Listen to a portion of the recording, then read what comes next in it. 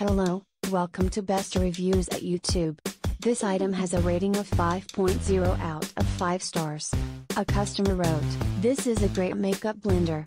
I have never seen or used one that was teardrop shaped, so I really didn't know what to expect when I started using it. This has quickly become my favorite blender to use. It is much easier to hold and keeps my fingers off the sponge portion, creating less bacteria occurrences. This really pops out from my normal black blenders and I love that. It works great. It does double in size when it is wet, so prepare for that during cleaning. It does shrink back up to normal size as it dries.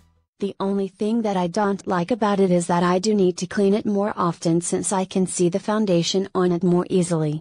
But, I suppose that is not a bad thing at all. I admired this company for creating a product that is not only vegan but also cruelty free. I look for products that have not endangered any animals in the testing and making of them. It is also not latex, which is great for those with an allergy.